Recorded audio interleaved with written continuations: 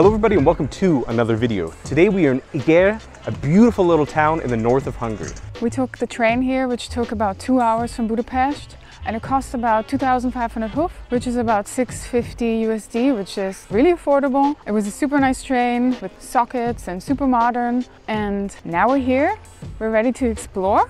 Eger is actually known for wine, specifically one type of wine, and we're gonna drink that later. We're gonna eat and do a usual thing. So let's go explore Eger.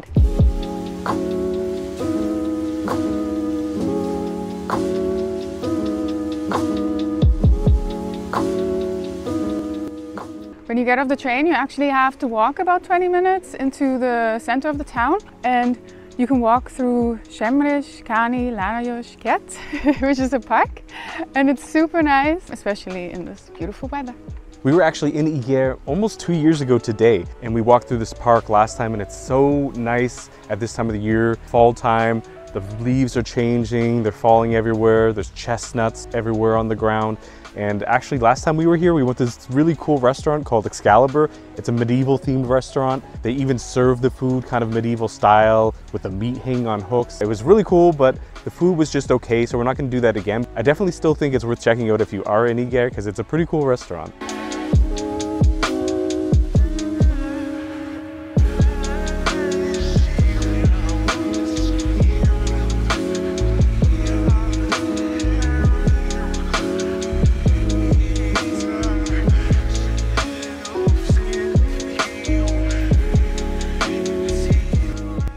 Town is so cute. It almost looks like you traveled back in time with all these little houses, colorful buildings. Yeah, that's why I think always, if you have a little bit of extra time in Budapest, there's so many cute little towns that are only a two hour, three hour, or even less train journey away from the city. So if you do have time, there's so many places to explore. So don't just stick to Budapest. Yeah, and that's what most people do. But come to other towns too.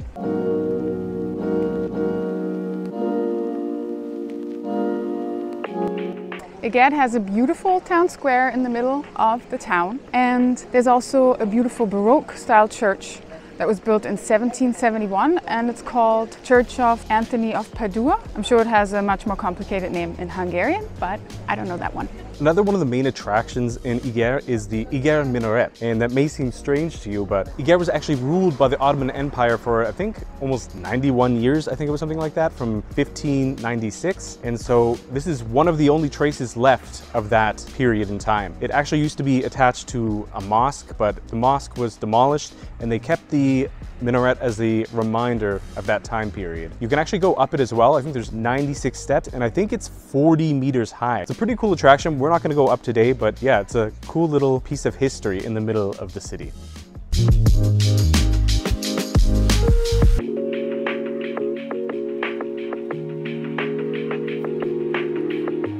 So we came to Kozor Etterem for lunch. Um, while obviously Eger is famous for their wines, we're gonna have those later.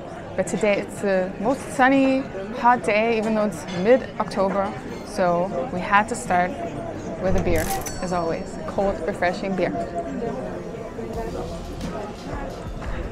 Before we came to Eger, we actually looked up if there was any specific food that we needed to try. Of course, we know we're supposed to try the wine, but we couldn't find anything for food. It just told us to try goulash, chicken paprikash, and all the regular old things. So we just came to this restaurant. We decided to pick two things that sounded good. And the first thing that I have here is a braised pork knuckle with onion. It also comes with red cabbage and potatoes. So I have myself a bite here, the cabbage and the pork, and it looks delicious. Mmm. Mmm. Ani was a little bit worried about this when it came out because it's already cut up. Normally when we get a pork knuckle, it's this big lump of meat, but this is amazing. It is so juicy, so fatty, salty, delicious. And of course, the red cabbage has that little bit of sourness, a little bit of sweetness. It's really good. And just standard little wedges of potato. Really, really good. I'm from Germany, so this is very similar to what I used to eat growing up.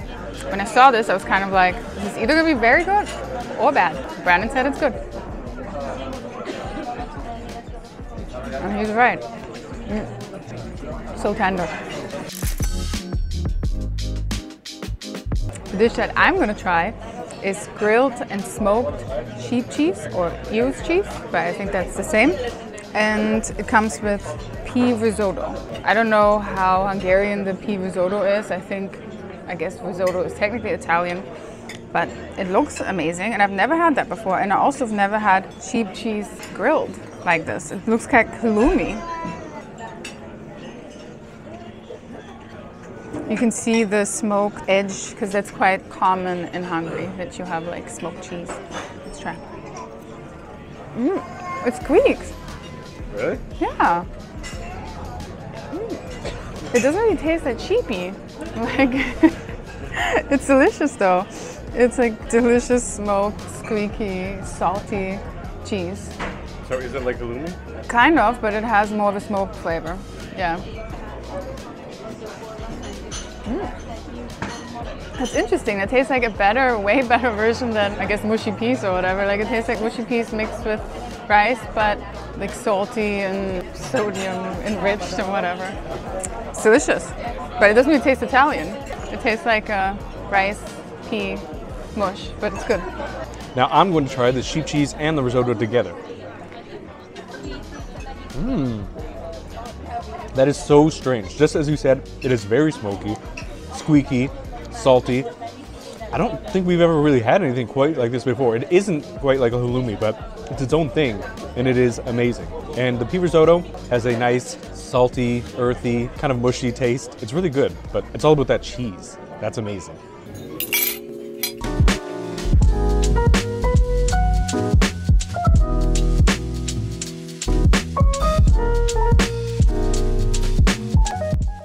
The main attraction in Eger is probably the castle.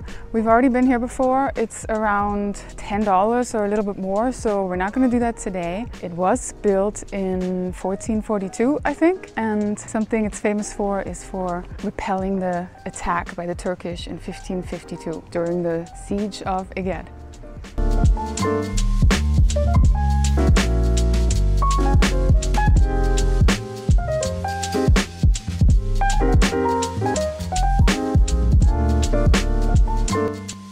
So we noticed when we go to small Hungarian towns that there's very often a marzipan museum. We actually went to one in the last video in Szentendre and here we walk past another one and I can't just walk past, I have to get something. So we got an Isler cookie. I think they might actually be Austrian or at least have Austrian origins.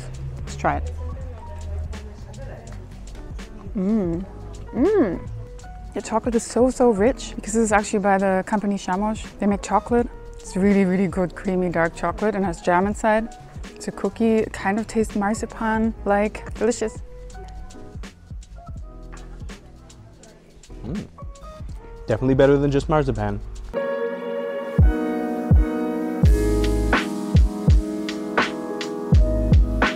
So originally we were going to go to the Beatles Museum, which is quite random and unique that there's a Beatles museum in this tiny town.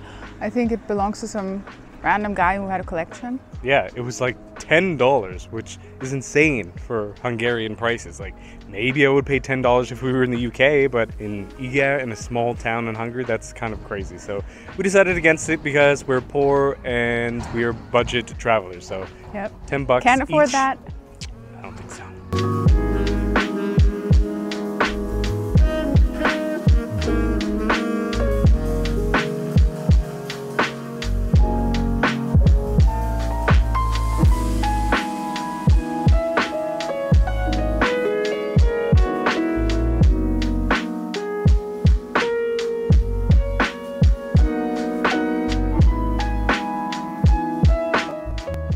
About to take the sightseeing train in Eger now from the city center to one of the most important places in Eger, which is the Valley of the Beautiful Women. Now, let's go drink some wine.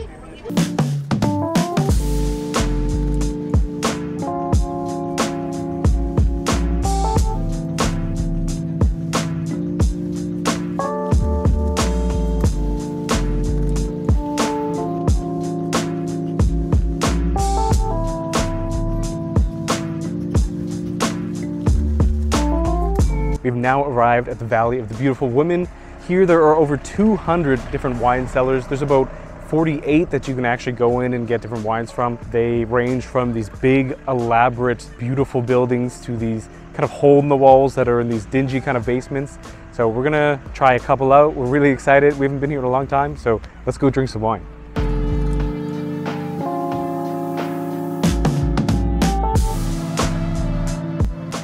So all those bars are kind of like lined up in a circle and they're all next to another and they have different numbers. If you want to go to, I don't know, bar number five, then it'll have a five on it. And basically you can, you can go on this like wine crawl and drink, I don't know, 48 glasses of wine after another. And I think they're also quite cheap.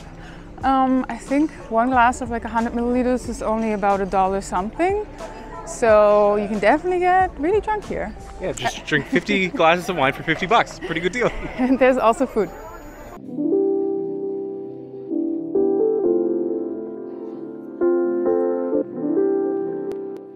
We are at Bar 34 or Kiss Peter. I don't know, it's probably not pronounced Kiss Peter, but that's the name. And we are about to taste our first wine. So this is by far the most famous wine of Eger of this region and it is called Bull's Blood. It gets its name because back in the day when the Ottoman Empire was here and they were taking over, there was a rumor between the Turkish soldiers that the Hungarians got their strength because they were drinking this dark red wine mixed with bull's blood. So it was the bull's blood that gave them strength to fight back and eventually take over and get their land back. So it's this dark red color and apparently it's supposed to be fruity and a little bit spicy. I don't know, we don't know anything about wine. Again, mm. just as good as I remember. We actually had this the first time we were in Eger two years ago. It's definitely fruity, it's really smooth, we're not typically major red wine drinkers, but I make an exception for this one. I absolutely love it.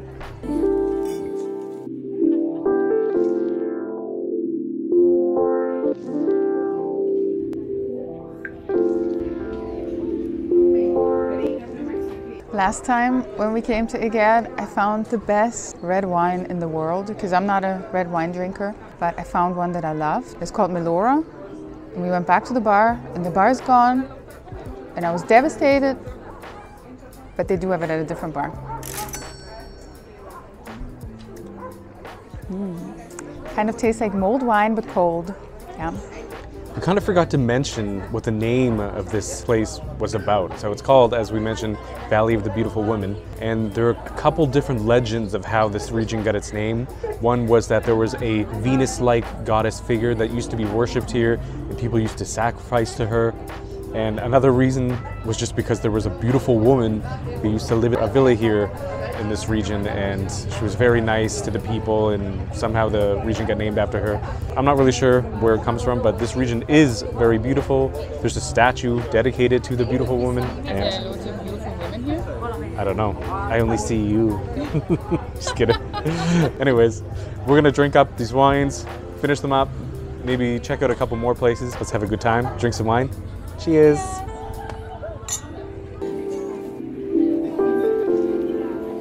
We came to bar number five, not our first bar, but this one is named or numbered number five. And the wine Can you here. tell this is like a fourth class?